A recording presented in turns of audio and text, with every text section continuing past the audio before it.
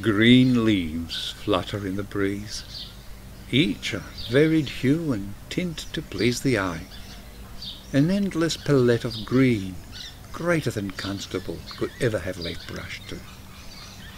Such a quiet afternoon, but for chirping birds, their cries, their twitter, their constant chat filling the air as they share daily news.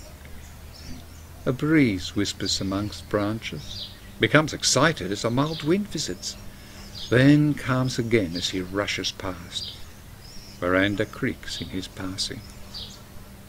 That lonely branch of the dry, retired wattle, bent with old age, dances gently, alone.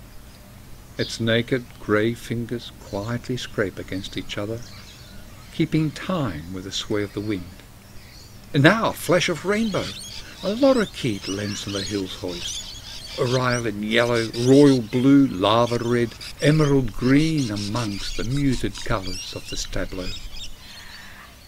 Torn shreds of white cloud drift lazily across the sky, blue like an old man's faded eyes. An easy day to sit, to enjoy, to let thoughts lap the silence that infuses all this melody.